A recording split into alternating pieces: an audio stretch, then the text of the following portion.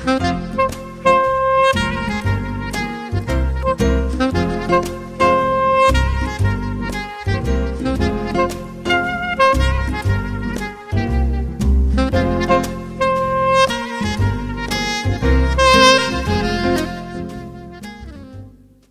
v-am regăsit, stimați telespectatori! În această după-amiază, la Dialoguri Esențiale, vă dăm prilejul să cunoașteți două tinere excepționale din uh, comunitatea noastră.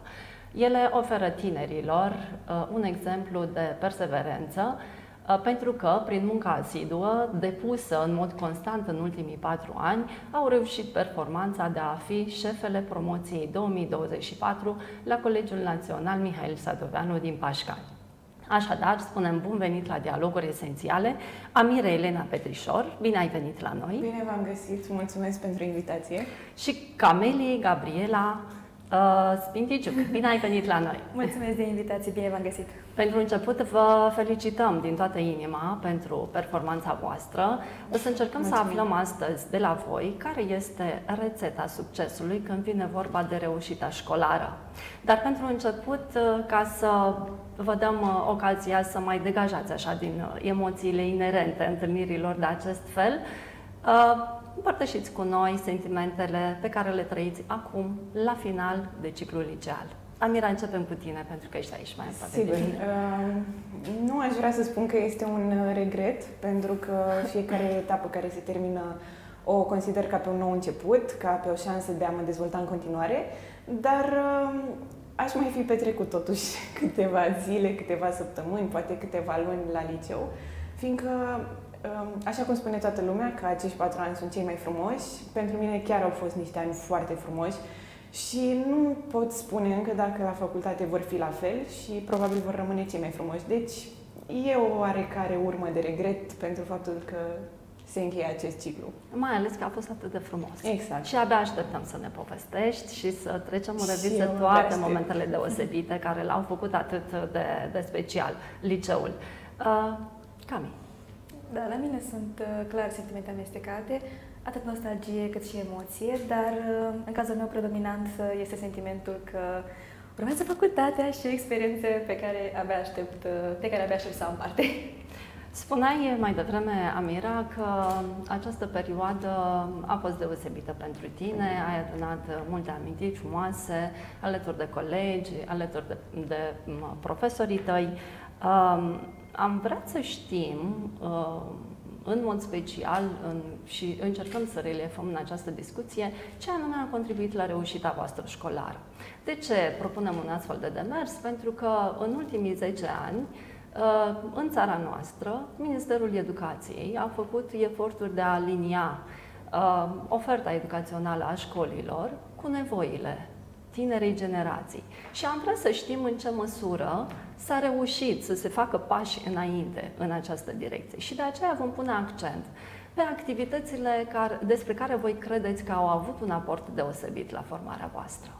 Da, uh, cu siguranță activitățile din liceu care au avut un aport deosebit la dezvoltarea mea atât personală cât și uh, semi-profesională, aș putea spune, Uh, au fost, uh, în primul rând, proiectele Erasmus, la care am avut uh, ocazia să particip. Uh-huh. Uh, am uh, fost membră și în Consiliul Elevilor, timp de un an, în clasa 11 și am făcut împreună uh, diferite activități care m-au dezvoltat atât pe mine, cât am reușit să dezvoltăm și uh, comunitatea școlară.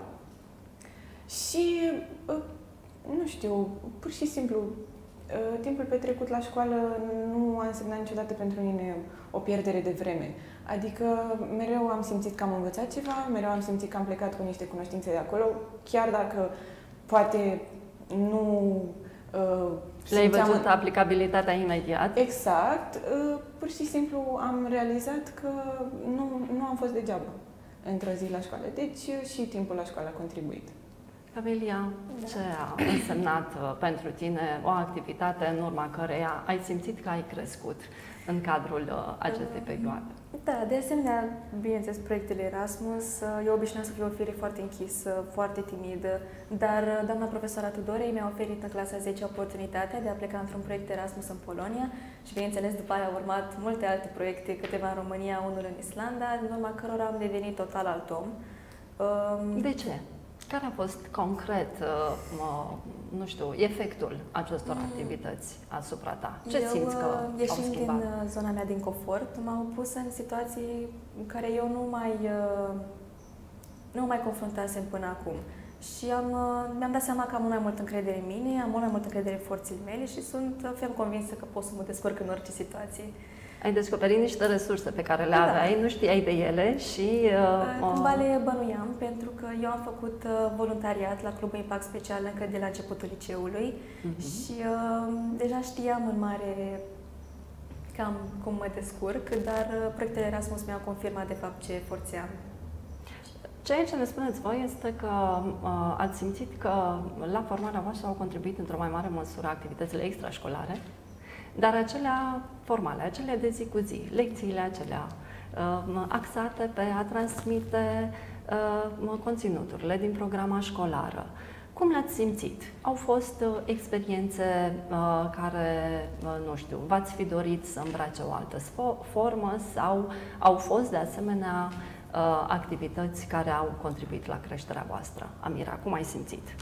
Um, eu nu am, uh, după cum am mai spus, uh, din punctul meu de vedere, lecțiile pe care le-am uh, făcut la școală m-au, m-au ajutat, nu le-am simțit grele sau să fie degeaba.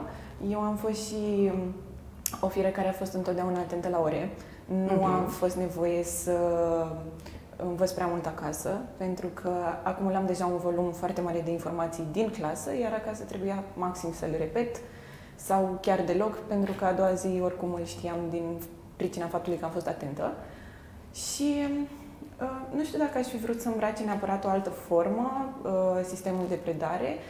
Poate, uh, nu știu, să fie digitalizat, dar nu total. Adică să nu ne lipsim de oameni, de profesori, de dascăl, fiindcă au un rol foarte important. Uh, Uh, cât să avem uh, mai multe materiale disponibile, acces la mai multă informație uh, din toate domeniile, nu doar ce se predă la școală.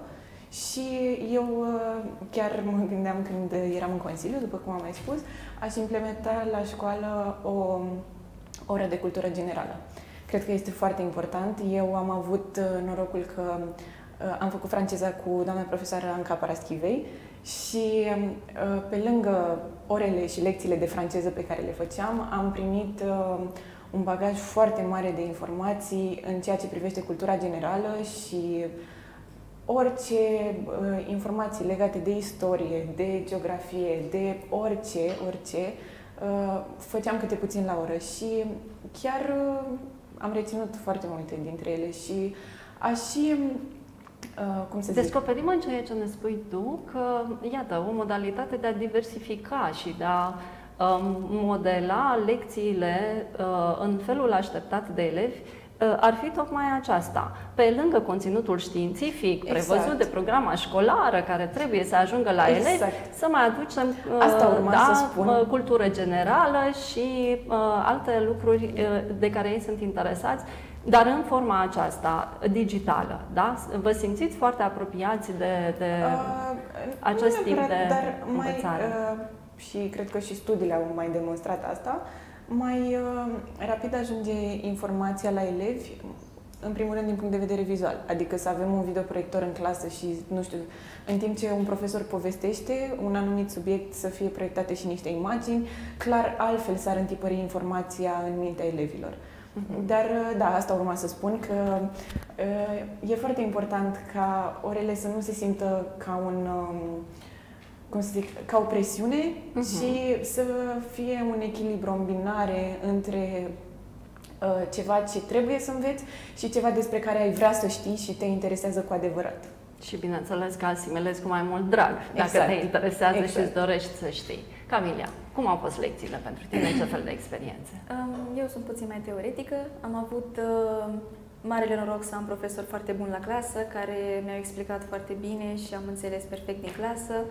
Iar, uh, da, acasă am uh, învățat constant și testele, ascultările nu au fost decât o repetiție pentru mine. Um, sunt de acord cu Amira când a spus că este o modalitate mult mai bună de a preda dacă ai și imagini vizuale, pentru că foarte multă lume reține mult mai bine ce vede, nu doar ce aude, poate cineva nu e atent, se întâmplă, dar să-i rămână în minte o imagine uh, ajută întotdeauna. Cum, uh, cum ai descrie, Amira, uh, mediul școlar în care ți-ai petrecut ultimii patru ani? Din punctul meu de vedere a fost un mediu ofertant, adică Uh, deja am uh, numit câteva dintre activitățile care se pot face la Sadoveanu, adică sunt, uh, este echipă de sport, este posibilitatea de a pleca în proiecte Erasmus. Uh-huh. De asemenea și consiliile elevilor, fiecare elev poate să candideze și să vadă uh, cum este să lucrezi într-o echipă, ce înseamnă să implementezi anumite activități, să le organizezi uh-huh. și foarte multe alte activități extrașcolare, adică mereu s-au făcut la noi la școală, am văzut uh, vânătoare de, uh, comori. de comori. am văzut foarte multe ceainării. Este activitatea cu tradiție ceai cu mine, dar s-a reinterpretat și pentru Crăciun și pentru Paște. S-a făcut la fiecare sărbătoare câte o ceainărie.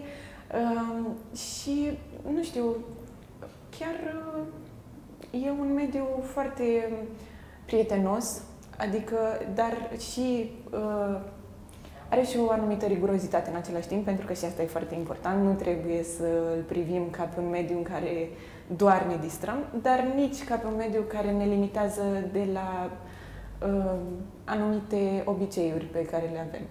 Ok, se cultivă în același timp și mintea, dar și uh, exact. uh, emoția.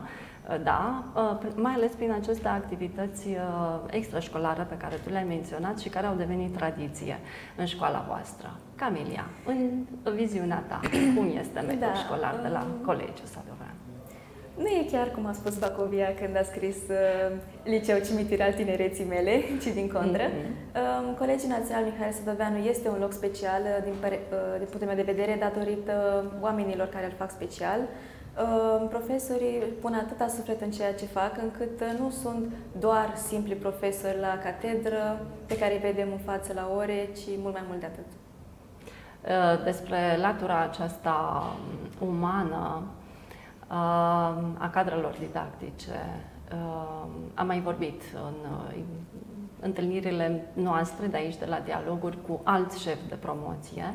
Se pare că este o necesitate, se pare că vă doriți să-i vedeți pe cei care vă îndrumă, cum sunt ei, cu toate emoțiile lor, cu toate experiențele lor de viață, nu doar uh, pe segmentul acela Uh, profesional. Cu face siguranță. bine. De ce face bine? În ce fel face bine, Amira, lucrul pentru acesta că, în relația elev-profesor? Uh, pentru că e o altă uh, modalitate de apropiere între elev și profesor, se creează o altă conexiune. Uh, nu este privit ca un uh, cadru didactic doar, ci ca un om care poate împărtăși emoție, care uh, duce o viață exact la fel ca și noi, mm-hmm. nu, uh, nu inspiră frică sau, uh, nu știu, nu... E da, alta... De regulă, elevii se tem de profesori atunci când le aplică testul de evaluare. Cum au fost aceste momente pentru tine și uh, ce anume din conduita cadrelor didactice de acolo te-a ajutat pe tine să, să nu le simți ca pe niște momente dificile? Din punctul meu de vedere, Uh, eu cred că m-am înțeles cu toți profesorii, sper că și ei sunt de acord. Um, când, a fost, uh, când au fost momentele de evaluare, bineînțeles, m-am pregătit cât de bine s-a putut uh-huh. și, după cum am mai spus, atenția din clasă m-a ajutat foarte mult, chiar dacă nu aveam timp să mă pregătesc pentru un test, tot am știut să scriu, fiindcă asimilam informațiile din clasă. Și um, Uh, probabil și faptul că profesorii m-au simțit pregătită mereu a contribuit la uh, înțelegerea dintre noi, dintre mine și profesori, uh-huh. pentru că nu, nu s-a creat uh, nevoia de a îmi aminti mereu că trebuie să meresc notele, că trebuie să învăț, că nu mă descurc și așa mai departe. A fost o relație chiar foarte bună. Camelia, cum ai simțit relaționarea ta cu, cu îndrumătorii voștri din școală? Da, de asemenea foarte bună, respect foarte mult fiecare profesor și uh, cred că fiecare a avut în parte, o, uh, într-o anumită măsură, o influență asupra mea, în bine, bineînțeles. Um, ei, uh, prezentându-ne latura lor umană, um, s-a înlăturat puțin din bariera de vârstă, poate, sau de um, mm-hmm. profesionalitate, pentru că fiecăruia ne-a venit mult mai ușor să vorbim, fără să ne fie frică de ce ar putea crede sau um, să, fără să ne fie frică să fim judecați ca elevi, poate dacă facem o greșeală, cum uh, mulți elevi se gândesc. Deci uh-huh. eu cred că este foarte este necesar chiar să existe o relație bună între profesor, între elevi și uh, eu mă bucur că am avut o relație bună.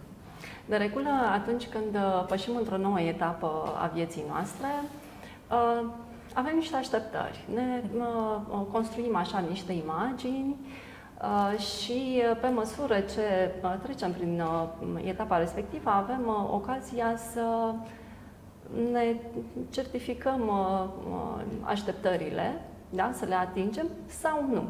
Cu siguranță și voi când ați pășit uh, ca liceieni în curtea liceului uh, Colegiului Mihail Sadoveanu, aveți în mintea voastră cel puțin niște imagini așa despre cum vor fi acești patru ani. Da? S-au confirmat? Au mai rămas uh, visuri neîmplinite? Cum a fost pentru tine, Amira? Uh, da, la mine uh, s-au confirmat așa așteptările, pentru că mă așteptam să mă înțeleg cu, cu colegii, mă așteptam să mă înțeleg cu profesorii, chiar dacă despre unii, cum e și firesc, se mai auzea înainte să intru la liceu, că uh, poate nu te înțelegi, poate spune o notă mică și gata, uh-huh. se strică relația, uh-huh. dar uh, după cum am spus și la întrebarea precedentă, eu mi-am creat uh, o relație foarte bună cu profesorii și uh, chiar uh, așteptam, cum să zic, mă așteptam înaintea liceului să uh, am o relație bună cu profesorii care s-a confirmat, bineînțeles. Uh, aveam așteptări, uh, o să mă repet, de a merge în proiect Erasmus, pentru că în perioada gimnaziului la noi, uh, la școală, nu au fost. Uh-huh. Uh, și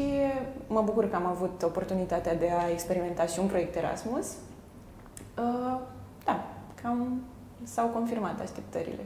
Nu ai fost, uh, n-ai rămas, N-am rămas dezamăgită. Cu, da, cu, cu așteptări nerealizate. Camila? Da, nici eu nu am avut mari surprize sau mari schimbări.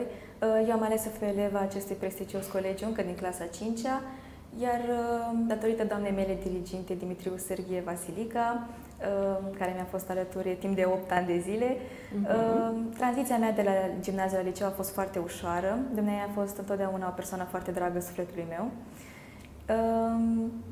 Eu când am intrat în clasa nouă a fost o continuitate a na, timpului meu petrecut până acum cum să spun, nu am avut mari schimbări, știam la ce să mă aștept și acum, la final, când mă uit în spate, s-au confirmat. Nu am avut uh, dezamăgiri mari sau... Nu. Asta este foarte bine. Uh, profităm puțin de uh, situația ta uh, semnalată mai devreme. Ai făcut și gimnaziu și liceul uh, în aceeași instituție școlară. De ce este un beneficiu acest lucru pentru un elev? Uh, poate a fost puțin mai greu la început, în clasa 5 când uh, am intrat, wow, mă duc la colegiu, e total altceva. Mm-hmm. Dar uh, într-a noua mi-a venit mult mai ușor să mă integrez. Eu deja cunoșteam pe doamna dirigintă, știam deja în mare, cred că jumătate de clasă deja știam. Știam în mare ce profesori urma să am și mi-a venit mult mai ușor să mă, să mă integrez.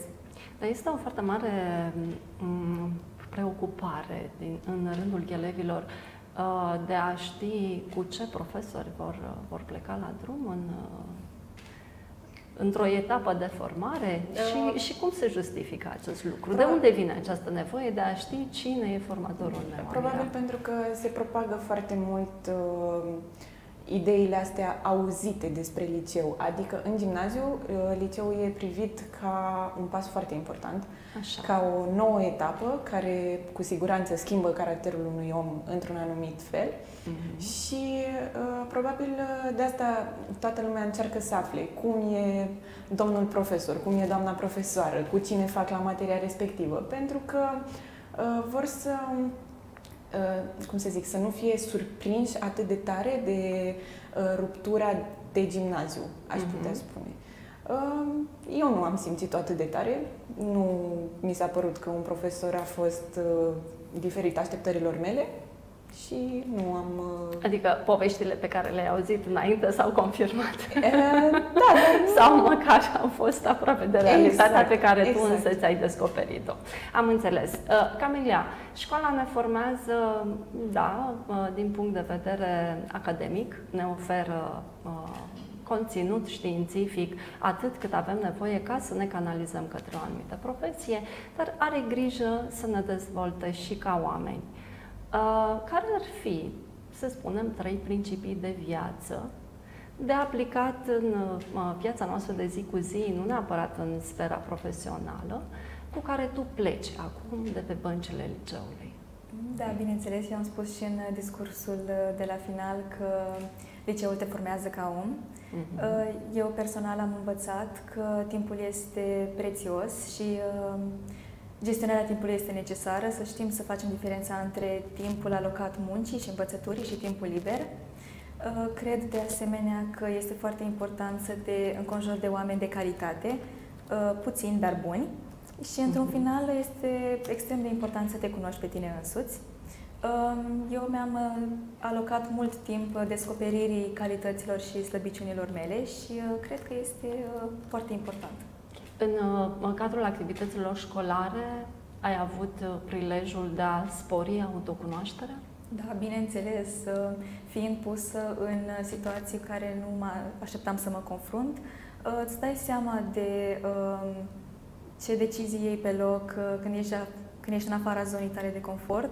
Mhm. Uh, Ești forțat cumva să iei anumite hotărâri care dezvăluie lucruri despre tine. Și, mă rog, forțat să înveți anumite lucruri noi care nu pot decât să fie de bine. Amira, uh, principiile tale cu care Principiile pleci în mele viață. cu care plec uh, mai departe la drum ar fi perseverența, în primul rând, echilibru și responsabilitatea. La echilibru mă refer, uh, după cum a spus și Camelia, la gestionarea timpului în primul rând, pentru că e foarte important să fie un echilibru între uh, învățat, uh, muncă și relaxare și distracție. Uh, și mă bucur că am reușit să păstrez acest echilibru pe parcursul liceului și cu siguranță și asta a, contribu- a contribuit la reușita pe care o împărtășesc. Uh, Perseverența, bineînțeles, pentru că e foarte important să uh, ne dezvoltăm continuu, să nu ne oprim, uh, să ne cunoaștem în continuare. Um, Și, nu știu, responsabilitatea Uh, Mie mi-a plăcut întotdeauna să fiu un om responsabil, uh, să nu uit uh, atributele pe care le am și uh, ceea ce am de făcut. Îndatoririle. Îndatoririle, exact. Mhm. Aveam un lapsus.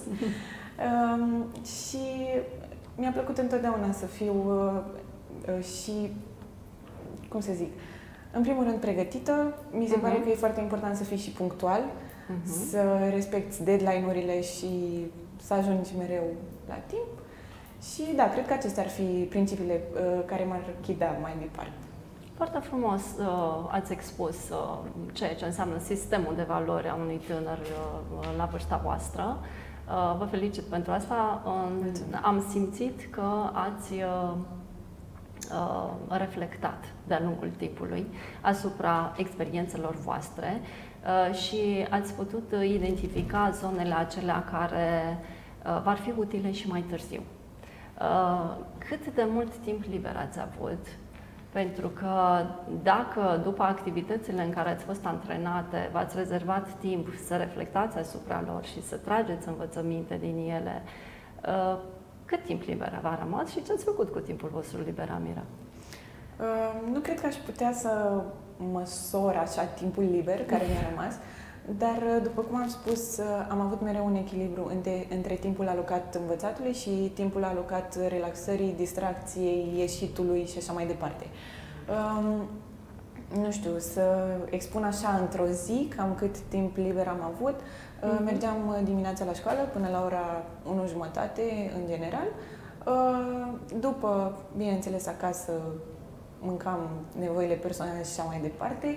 Învățam două, trei ore cred, în clasa 12 cam așa, cam 2-3 ore. Uh-huh. Uh, și apoi uh, ieșeam uh, în oraș sau mergeam și mă vedeam cu prietenii sau deci a fost timp liber. Nu da. ai ieșit o dată pe săptămână, exact. de exemplu, sau de două ori pe lună, sau pentru că ai avut sau... exact, nu. pentru că ai avut Dar, foarte multe uh, lucruri de făcut.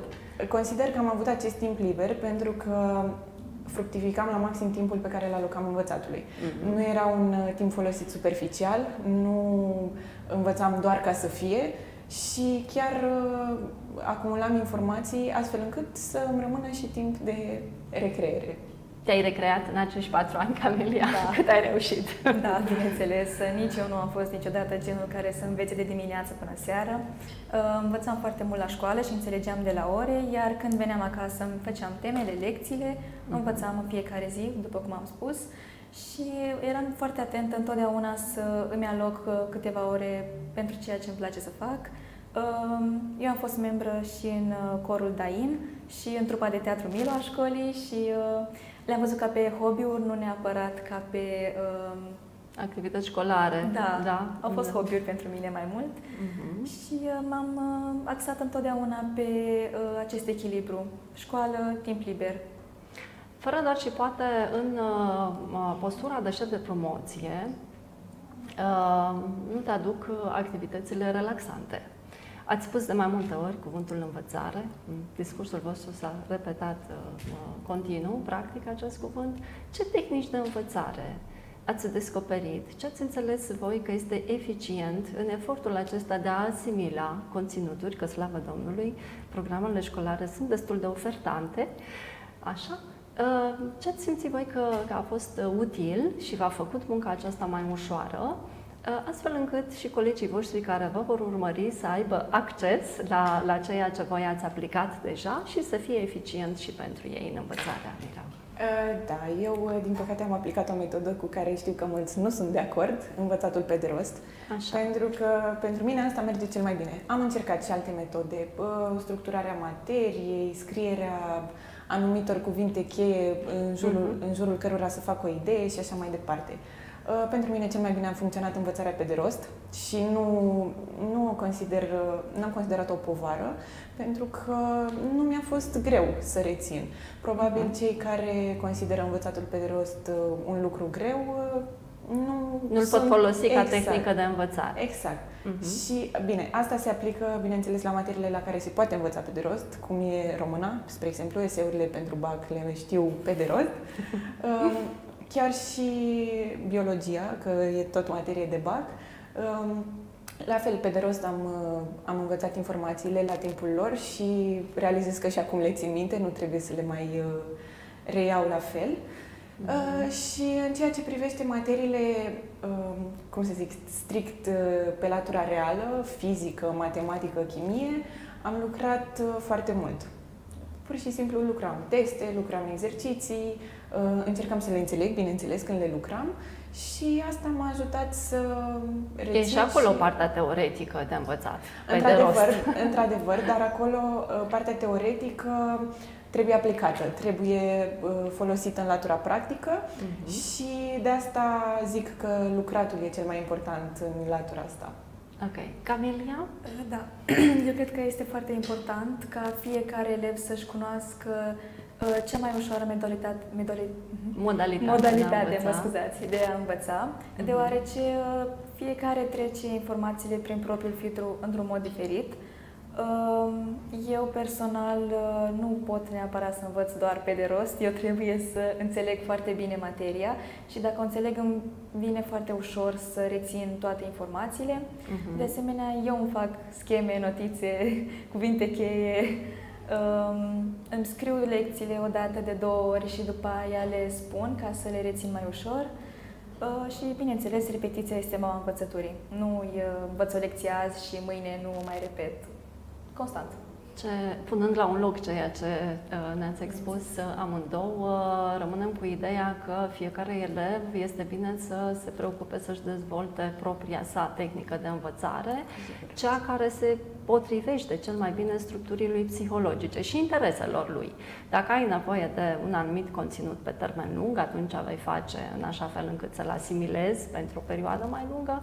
Dacă ai nevoie doar pentru testul de mâine, Uh, da, și materia respectivă nu, nu prezintă un interes major pentru tine, atunci poți să, să înveți puțin pe de rost ca să treci uh, momentul respectiv. O să ne oprim acum pentru o foarte scurtă pauză de publicitate. Stimați telespectatori, rămâneți alături de noi.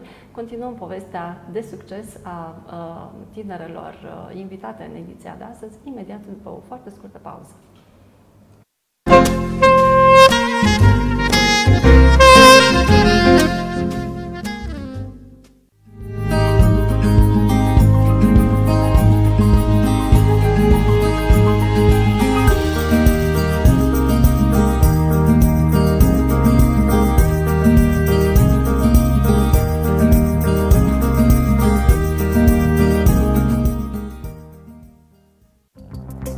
În 10 ani am construit 514 km de drumuri, oferind o infrastructură corespunzătoare pentru 57 de localități din mediul rural și urban.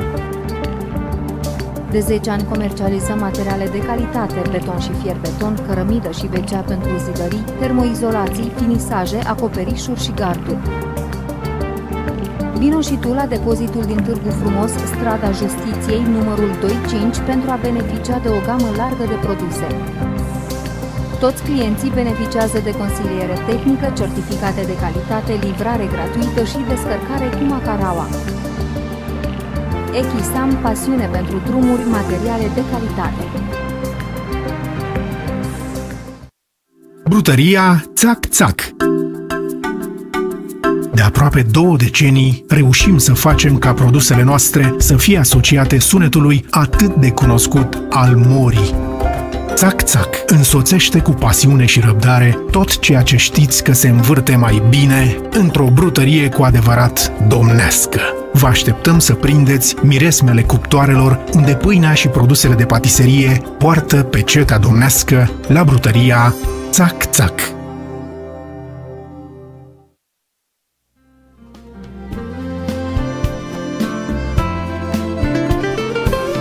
Sono triste fra la gente che mi sta passando accanto.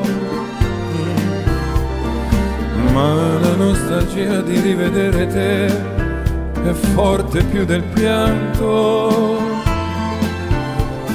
Questo sole accende sul mio volto un segno di speranza. Sto aspettando quando a un tratto ti vedrò spuntare in lontananza. Amore fai presto, io non resisto.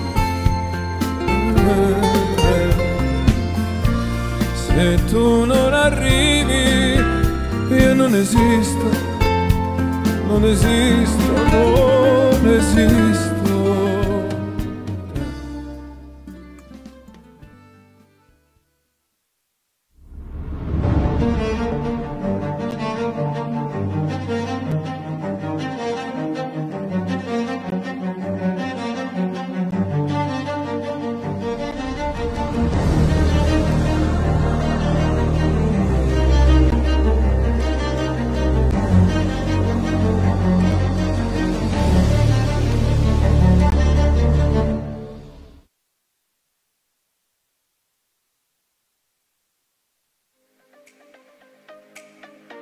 Arised Tours România, companie de turism tur operatoare, organizează circuite turistice, excursii școlare, pelerinaje religioase în țară și străinătate. Avem de asemenea servicii de transport persoane și coletărie, curse internaționale, plecări și sosiri zilnice, cu transport până la adresă, către Ungaria, Austria, Germania, Belgia, Olanda, Danemarca, Italia, Franța, Elveția, Spania, Grecia, Cehia, Slovacia, Slovenia, Anglia, operate în parteneriat cu Romfood Tour, Tabitatur și Perla Trans. Pentru detalii ne găsiți în municipiul Pașcani, Esplanadă, Agenția de Turism Aliseb Tours, telefon 0232 763 958 sau 0767 77 6080. Ne găsiți și pe alisebtours.ro.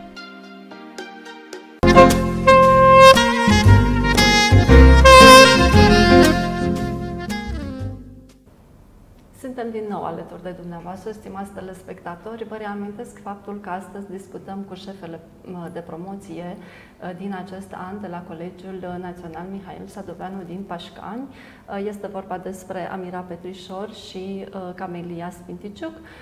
În prima parte a discuției noastre am creionat așa în tușuri destul de discrete care a fost cea mai valoroasă Uh, parte din uh, perioada aceasta liceală pentru invitatele mele, uh, însă ne-am dorit ca în următoarea parte a discuției noastre, fetelor, să aflăm mai ales ce planuri de viitor aveți, pentru că sunteți într-un moment în care Uh, așa cum frumos a, a spus uh, Amira la început, pășiți într-o altă uh, etapă a formării voastre, dar înainte să facem pasul către viitor, aș vrea să vă provoc să ne împărtășiți cel mai frumos moment și cel mai dificil moment, pentru că de regulă, din experiențe de-astea ample, Uh, ține minte orice ce ne-a încântat, orice ce ne-a provocat o anumită suferință. Așa că, iată, vă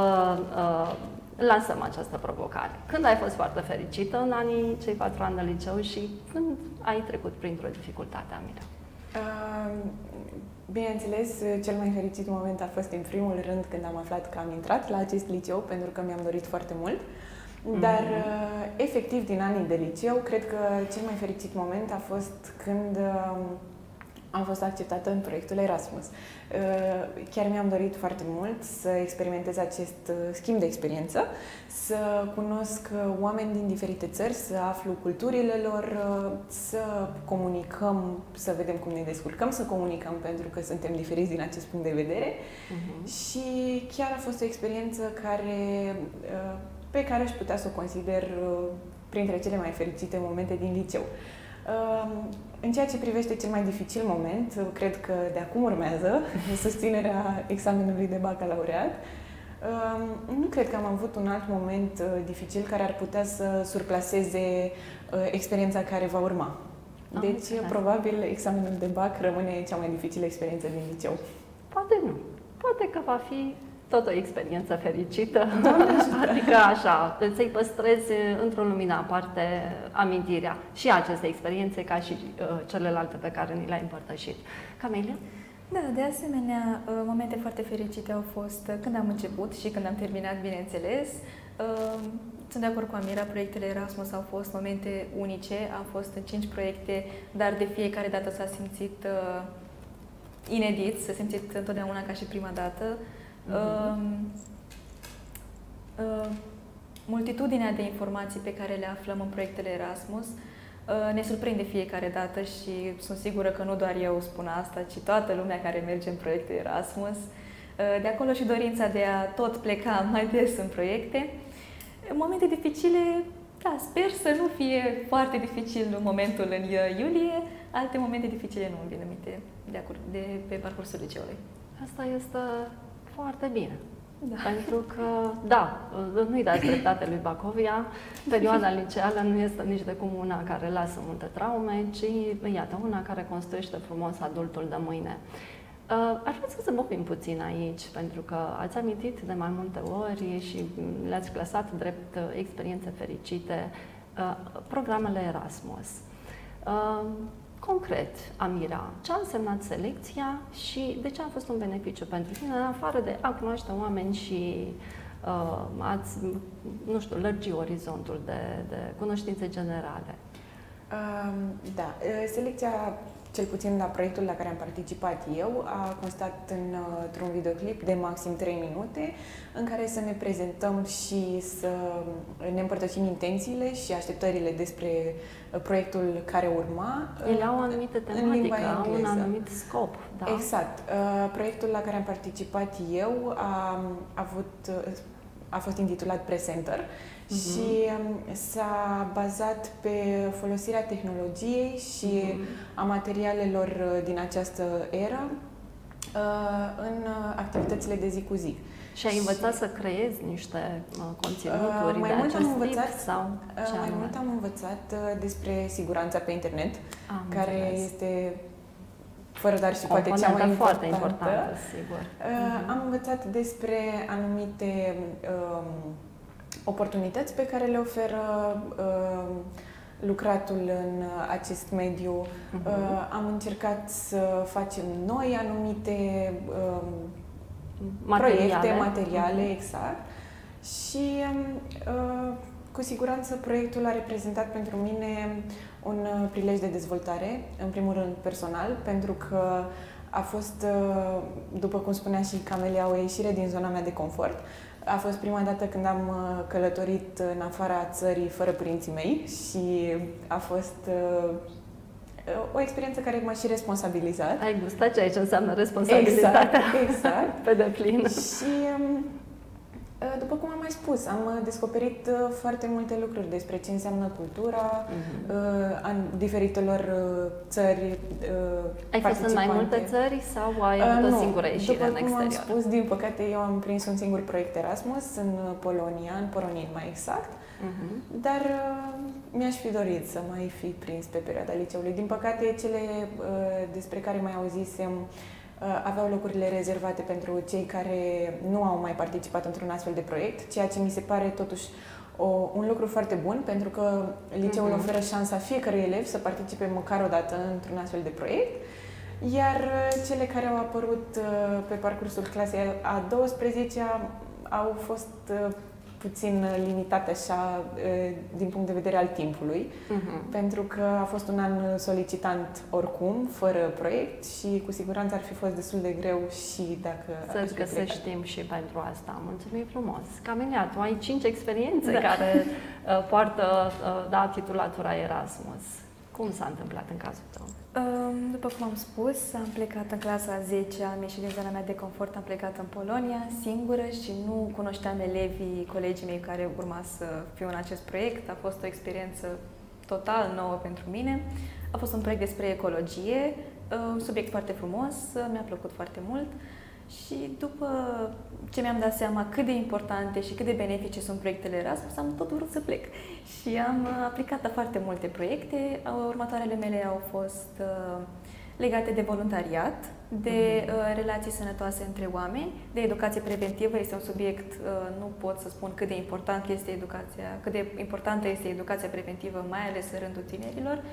Iar uh, ultimul meu proiect a fost despre uh, jocuri despre roleplay. Este un concept pe care eu nu l-am auzit până atunci, uh, pe care nu l-am văzut în România uh, și pe care sper că am reușit să-l înțeleg, nu în totalitate pentru că e foarte complex, dar... Uh, Vorbim despre jocuri electronice sau despre nu, joc uh, practică uh, de învățare sau despre uh, joc? joc? Nici eu nu știam cum ce se mănâncă la început. Eu mă gândeam că este vorba despre jocuri video, dar Așa. nu a fost cazul deloc. Uh, sunt jocurile alea pe care noi le vedem uh, poate în seriale sau în filmele cu adolescenți, uh-huh. când se joacă D&D sau cu zarurile alea foarte multe. Uh-huh. Uh-huh. Este un joc în care, este un joc pe tablă, în care tu impers- impersonezi personajul pe care îl primești, adică nu joci doar ca și jucător, joci efectiv rolul care ți se dă. Și este o poveste întreagă, este, este un concept complex se, se bazează pe ideea de joc de rol. Da. Îți uh, da. atribuie un rol și tu... Și sunt un set de reguli cam atât de groase. Am înțeles. Da. Deci uh, necesită și învățare. Da, eu mă trezeam, da, eu mă trezeam dimineața, primele două, trei zile, mă trezeam un proiect pe la șapte, uh, mâncam cele trei mese de dimineață până seara, încercam să înțeleg jocul și să înțeleg regulile fără să trebuiască atunci când joc să mă uit, stați, stați puțin să mă uit la regula asta. Să da, văd da, cum e. da. Mhm. Și da, noi am făcut jocuri, am făcut povești atunci și uh, pentru cineva care nu auzise niciodată de conceptul ăla mi-a, mi-a fost greu. Dar um, eu cred că m-am descurcat. Ai uh, amintit mai devreme despre importanța educației preventive. Da. Nu pot să spun cât de importantă este educația preventivă. Dezvoltă puțin această idee, te rog. Um, foarte, foarte mulți tineri uh, se lasă păcăliți poate de anumite obiceiuri uh, negative care au un, im- au un impact foarte puțin benefic, ca să fiu o drăguță, cum să spun. Uh, Noi ne-am axat foarte mult pe uh, fumat, pe droguri și pe băutură, pentru că foarte mulți tineri au probleme cu aceste uh, trei mari... Dezvoltă adicții. Da. da. Mhm. Și- Pleacă de la o curiozitate și ajung uh, la dependențe. Da, și Ceea ce este uh, foarte grav. Sincer și eu am rămas surprinsă cât de negative pot fi uh, repercusiunile acestor acțiuni. Mhm. Uh, Poate, nu, poate majoritatea nu le văd acum, dar în viitor uh, sigur o să se vadă de fapt cât de uh, nocive sunt aceste obiceiuri. Și din educația punct de vedere preventivă al sănătății. presupune ca tinerii să fie avertizați asupra Da. acestor consecințe? Da, prin sau... cât, da, să fie avertizați uh, prin cât Mhm. mai multe uh, modalități uh, de tot răul pe care ei singuri și-l fac, de presiunea so- socială pe care foarte mulți tineri o resimt când vine vorba de uh, a intra într-un astfel de obicei um, și să fie, cum să spun, anunțați din timp de consecințele de care o să aibă parte în viitor. Am înțeles. Experiențe într-adevăr valoroase uh, de formare și personală și poate și profesională pentru voi. Uh, Să nu mai prelungim așteptarea, vrem să știm ce aveți de gând să faceți mai departe. Considerăm că bacalaureatul a trecut deja, l-ați luat. Amira, spre ce te îndrepți? Uh, Da, eu uh, aș vrea să urmez studiile Facultății de Drept de la Iași. Um, Nu aș putea să spun încă ce mi-aș dori să uh, profesez mai departe, dacă aș vrea să merg uh, pe avocatură, pe magistratură sau uh, să lucrez pe partea juridică într-o firmă, pentru că aș vrea mai întâi să descoper uh, ce oferă fiecare, um, uh, fiecare post, să zic Mhm. așa, și abia apoi să, să-mi dau seama ce îmi place cu adevărat și ce aș vrea să fac mai departe. Dar uh, cu siguranță vreau să urmez facultatea de drept. Mi se pare o facultate utilă uh, întrucât învățăm despre uh, drepturile, obligațiile uh, noastre pe care ar trebui cu toții să le cunoaștem, despre legile care se aplică la noi în țară și cred că este foarte important să le Crezi că știm te cu va toții. ajuta să fii uh, un cetățean mai bun, un părinte mai bun? Uh, Da, cu siguranță. De fapt, cred că orice studii te ajută să fii uh, un uh, cetățean mai bun și un adult mai bun, pentru că te formează din multe puncte de vedere. Ok, mulțumim. Camelia? Da, următorul meu pas în viață este facultatea, bineînțeles. De asemenea, îmi doresc noi experiențe, noi proiecte, noi activități. În general, îmi doresc o viață de student frumoasă, În facultatea de? de litere. Îmi doresc, mă văd în viitor la catedră, predând da, elevilor mei. Mi-am dorit de mică să fiu profesor.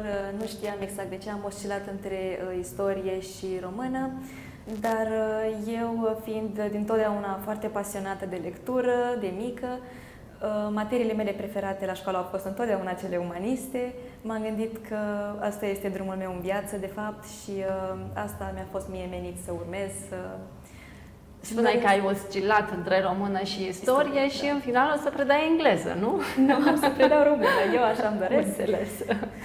Um, Eu așa îmi doresc să predau română. Um, Îmi place ideea ca în viitor să pot să am o influență în bine asupra viziunii cuiva și um, chiar am încredere în generațiile care vor veni. De ce nu pentru mulți tineri este atractivă astăzi meseria de dascăl?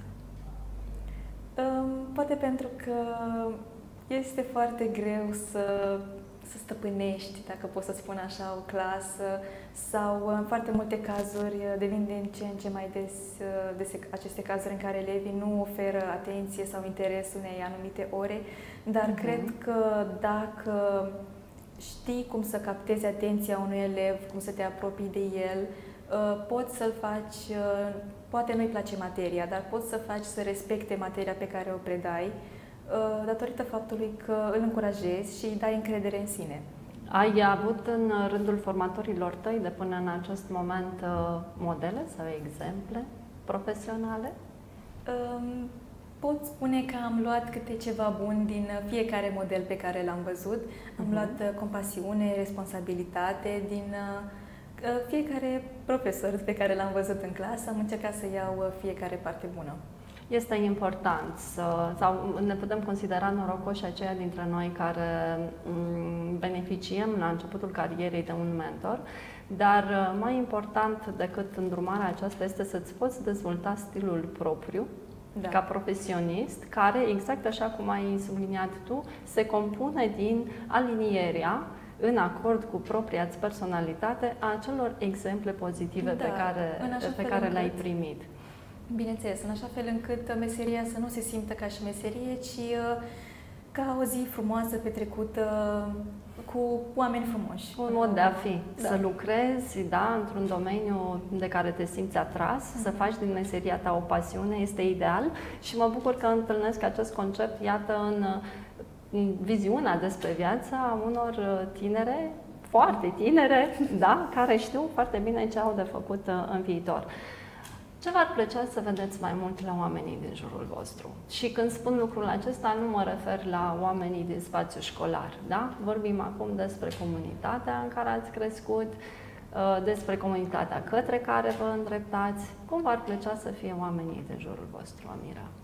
Uh, cred că mi-ar plăcea să fie, în primul rând, mai implicați în sensul de a fi mai interesați despre ceea ce se întâmplă în jurul lor. Uh, pentru că văd uh, foarte mulți tineri cât și adulți care uh, nu sunt atât de interesați de ceea ce se întâmplă, uh, de ceea ce se propagă în anumite medii uh-huh. și uh, ajung a fi un uh, produs al unei societăți în care uh, prin care doar au trecut, nu au fost uh, implicați. Uh-huh. Și cred că asta mi-aș dori să, să văd mai mult interes din partea uh, oamenilor din jurul meu legat de ceea ce se întâmplă.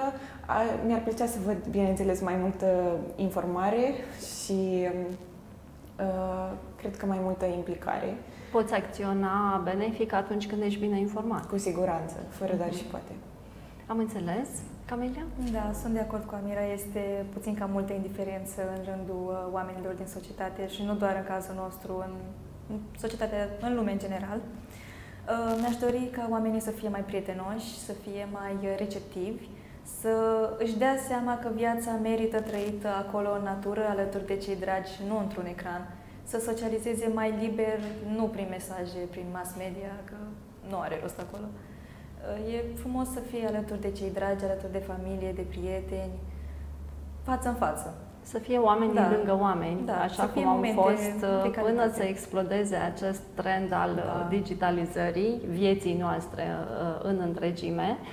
Um, spuneai, Amira, dar întrebarea o vizează și pe Camelia în egală măsură, că ți-ai dorit să-i vezi pe oameni implicați mai exact, care ar fi acele comportamente sau acele acțiuni pe care tu ai simțit că niște adulți le-ar, le-ar fi putut uh, întreprinde la un moment dat, dar n-au făcut acest lucru? Uh, din punctul meu de vedere și implicarea la care mă refeream mai exact, uh, este chiar ceea ce am spus, mm. dorința de a fi informat. Mi se mhm. pare că e, reprezintă o acțiune de implicare, chiar dacă poate fi considerată o acțiune indirectă de implicare, dar uh, cu siguranță în momentul în care ești mai informat, uh, acest lucru conduce la uh, a conștientiza ce se întâmplă în jurul tău și a putea lua anumite decizii măsuri. sau măsuri care ar duce la o implicare indirectă, dar cu niște efecte care s-ar observa. Da, eu mă duc către o situație concretă. Eu am crescut în mediul rural, și aș putea spune că în vremea mea, la educația unui tânăr contribuia întreaga comunitate. Adică în momentul în care plecai de acasă spre magazin și copil fiind trecea prin minte așa să te atârni de gardul unui vecin și să iei niște corcodușe, nu știu, niște cireșe uh, și te vedea orice trecător pe stradă, persoana respectivă nu se sfia să-ți facă observație că nu se cuvine ceea ce faci, adică să contribuie la educarea ta. Uh, dacă astăzi o persoană de pe stradă ar face observația unui copil mult prea tânăr pe care îl vede fumând, ar fi o măsură în genul acelea pe care tu te aștepți să o vezi sau ar fi nepotrivit? Cum simțiți voi acest uh, lucru? Nu cred că ar fi uh, nepotrivit, pentru că un astfel de sfat este întotdeauna binevenit pentru oricine, uh-huh. mai ales, uh, cum spunea și Camelia, legat de aceste probleme majore cu care se confruntă societatea modernă. Și um, Uh, cum am spus, nu cred că ar fi nepotrivit, ba din potrivă ar fi un pas constructiv, pentru că probabil uh, persoana care îi se atrage atenția nu conștientizează la momentul respectiv, dar uh, trecând prin filtrul minții și, bineînțeles, trecând și printr-o dezvoltare continuă, după cum am mai spus, ajunge să realizeze că aceste sfaturi nu au fost uh, fără folos. Uh-huh. Și um, uh, că omul respectiv nu i-a vrut răul sau n-a vrut să-l pună într-o postură neplăcută, ci pur și simplu i-a păsat de viitorul lui și de sănătatea lui. Cu siguranță și uh, după cum ați și precizat, uh, um, această păsare cred că ar fi un alt pas uh, în spre implicarea la care uh-huh. m-aș referi. Să ne pese de, de ce se întâmplă în jurul nostru. Um, am avut senzația la un moment dat că societatea vremurilor noastre este foarte tolerantă cu orice, dar de fapt tu uh, aduci o altă perspectivă acum Uh, s-ar putea să fie vorba mai mult de indiferență decât de toleranță. Toleranța presupune să înțelegi nevoia acelui care se manifestă într-un mod anume, poate neadecvat, și să-l lași uh, să se comporte așa cum simte el. Dar cred că e mai mult de atât, cred că e vorba de ignoranță și faptul că voi uh, vedeți aceste lucruri de la nivelul generației tinere, Uh, e mult mai credibil decât noi. Noi venim cu niște păreri așa despre ce se întâmplă, dar voi le trăiți și atunci uh, credibilitatea voastră este mult mai mare. Cum să fie oamenii de jurul tău implicați, Camelia? Um, cred că a devenit într-un mod foarte trist, destul de comună atitudinea uh, dacă pe mine nu mă afectează în mod direct, nu mă interesează. Uh-huh. Eu cred că este o abordare total greșită. Fiind parte dintr-o comunitate, dintr-o societate, te afectează pentru că am avut foarte multe uh, persoane care se plâng că poate țara asta nu merge în direcția în care ar trebui să meargă sau nu suntem ca afară, dar nici nu fac nimic în legătură cu chestia asta, să schimbe ceva. Așa că eu consider că dacă vrei să vezi o schimbare în societate, în comunitatea în care trăiești, uh, trebuie să vină de la tine în primul rând. Nu poți să te aștepți să facă altcineva, poate dacă cineva nu face. Dacă vrei schimbarea aia, fă-o tu, fii tu exemplu uh-huh. și uh, ceilalți o să urmeze. Puterea exemplului da. personal este întotdeauna uh, da, cea care convinge uh, și uh, determină în cele din urmă schimbarea la nivel da. Uh, așa macro da, așa al, al, al întregii societăți. Da? Impactul, Te rog. Ai și un exemplu, ai trăit da. asta, așa că împărtășește-l cu noi. Impactul a început ca un impactul în, școala, în uh, societatea noastră a început ca un concept mic, un club micuț, uh-huh. care după atâtea proiecte și atâtea exemple în folosul comunității a ajuns să fie cunoscut uh, de către oamenii din Pașcani uh, și apreciat și am văzut că parcursul timpului am primit mult mai multă susținere din partea oamenilor și diferența chiar s-a văzut. Deci implicarea este foarte importantă. De ce credeți voi că ar avea nevoie comunitatea de la Pașcani să fie ca acțiune mai prezentă în beneficiul tinerilor, a copiilor, pentru că ei sunt comunitatea de mâine, dar și în beneficiul celor care sunt astăzi, trăiesc astăzi în acest oraș?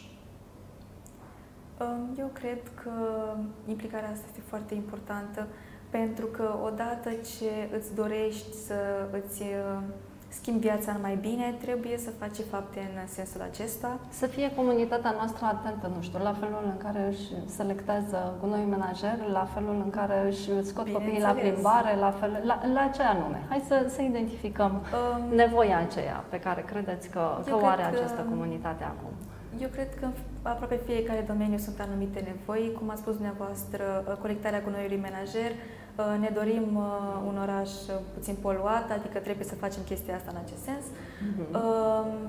Ne dorim noi ca tineri să avem ce să facem în oraș, să avem activități. Mai multe centre culturale, da? Ar fi de nevoie de spații în care tinerii... Uh-huh. Eu de asta am intrat și în impact și uh, noi cum facem uh, chestionare și sondaje, cel mai des răspuns pe care îl primim este că nu avem noi ca tineri ce face în oraș. Și uh, de asta am construit, de exemplu, și în parcul de lângă stadion. Uh-huh. Sunt chestii concrete pe care le putem face, chiar dacă sunt mici, chiar dacă poate par neînsemnate, o faptă bună făcută o dată, de două ori, de trei ori, are uh, repercusiuni uh, în final. Devine obicei da, și devine practică obicei. mai mult și atunci e clar exact. că rezultatele și dacă apar. toată lumea face fapte bune și azi și mâine și poi mine, este clar că societatea și orașul o să ajungă într-un punct mult mai bun. Uh-huh. Amira, ai o idee despre ce nevoie ar avea comunitatea în momentul de față? Uh, eu aș vrea să mă refer la exemplul uh, concret pe care l-ați oferit, cel cu poluarea. Uh, din punctul meu de vedere, fiecare acțiune negativă a oricărui tânăr pleacă de la educație. Și cred că am putea um, preveni aceste acțiuni și implicit am putea îmbunătăți dezvoltarea comunității prin uh, uh, atenția la o educație de calitate, prin uh, accentul pus pe o educație de calitate. Și mă refer aici uh, nu doar la educația din școală, cât și, cum a spus Camelia, să se facă uh, mai multe centre culturale și să se propună anumite activități în care să se propage chiar acest lucru, educația, importanța educației în dezvoltarea unui om. Uh, de asemenea, aș mai putea spune că um, la fel de importante sunt, uh, este, de fapt, cunoașterea sancțiunilor care se aplică uh, acestor acțiuni negative mm-hmm. și, bineînțeles, aplicarea cu strictețe a sancțiunilor care există. Și cred că asta ar ar schimba în bine. Ar schimba în bine, da, comunitatea noastră. Unde vă vedeți peste 10 ani? Camelia. La Pașcani, uh, în alt oraș, în țară sau în străinătate, profesând în, în direcția în care ne-ai uh, povestit mai devreme sau ești curioasă și lași viața să, să te ajute să descoperi și altceva? Da, eu nu-mi doresc nicio formă să plec din țară, deși știu că sunt uh, oferte tentante. Uh, eu consider că aici este locul meu, este țara mea, aici m-am născut și aici voi muri. Uh, mă văd predând mă văd fericită în 10 ani și uh, la Pașcani sau la Iași, pentru că uh, sunt orașele mele preferate. Este locul în care m-am născut, în care am copilărit, normal că mm, iubesc Pașcaniul, dar uh, Iașul sună mult mai ofertant din punct de vedere profesional, din punctul de vedere al oportunităților care îmi vor fi oferite și tind să, și cum este și aproape de Pașcani, tind să mă îndrept în direcția aia. Nu aș vrea să las viața la să decidă pentru mine. Eu sunt genul de om care planifică dinainte și se ține de plan. Uh, da, asta. Și faptul că ai învățat să-ți formulezi obiective și să le planifici atent uh, realizarea este un lucru da. care ajută în ceea ce privește reușita profesională pentru că despre cea școlară deja nu mai vorbim, s-a văzut. Uh, te felicităm și îți dorim succes. Fie Mulțumesc. ca uh, ceea ce ai proiectat tu pentru următorii 10 ani să se realizeze în tocmai. Amira, unde vei fi? Uh, eu, de asemenea, îmi doresc să rămân în țară, pentru că, după cum am precizat, îmi doresc să urmez facultatea de drept uh-huh. și nu cred că uh, aș putea uh, folosi informațiile pe care le-aș învăța la noi în țară și să le aplic într-o altă țară. Cred mm-hmm. că pe acest domeniu ar trebui să urmez facultatea în țara în care mi-aș dori să profesez, pentru că este diferit la fiecare. Așa uh, este. Nu știu exact uh, dacă îmi doresc să rămân la noi în oraș, dacă îmi doresc să plec la Iași sau la București sau într-un alt oraș, poate. Uh, vreau să văd ce oportunități primesc, să le pun în balanță și să văd care ar fi cea mai potrivită pentru mine, dar cu siguranță îmi doresc să activez în mediul juridic. Ce v-ați dorit să, să găsiți la Pașcan când vă întoarceți peste 10 ani? Uh, mi-aș dori să găsesc un oraș uh, dezvoltat, un oraș, uh, după cum am mai discutat, cu oportunități pentru tineri, mm-hmm. un oraș care să susțină dezvoltarea tinerilor, pentru că ei sunt noua generație care ar putea aduce schimbări și cu siguranță se va îndrepta într-o direcție bună. Eu chiar am încredere că va merge într-un sens bun. Ești optimistă. Mulțumim! Rămânem în această notă optimistă la finalul întâlnirii noastre de astăzi. Vă mulțumesc pentru că ați fost aici și ție îți dorim succes. Mulțumesc. Fie ca tot ce ai uh, gândit pentru viitorul tău să se realizeze, dar și ceea ce ai gândit pentru viitorul acestei comunități uh, de asemenea să devină realitate, pentru că să trăim mai bine, mai frumos și cu mai multă armonie între oameni, cum frumos a subliniat colega pastră, colega ta, uh, Camelia, mai devreme, da, este dorința noastră a tuturor, dar probabil că nu Uh, nu avem acea îndrăzneală de a face fiecare în segmentul nostru ceea ce uh, e necesar în această direcție. Încă o dată vă mulțumim și vă dorim succes. Mulțumim, mulțumim. și noi. Doamnelor și domnilor, a fost uh, o întâlnire în care ne-am dorit să cunoaștem viziunea tinerilor absolvenți de liceu din comunitatea noastră despre ceea ce înseamnă formarea școlară, reușita școlară, Uh, în această ieră și totodată care sunt gândurile lor în ceea ce privește viitorul. Vă mulțumim pentru că ați fost alături de noi. Până la întâlnirea de săptămâna viitoare, vă dorim toate bune tuturor!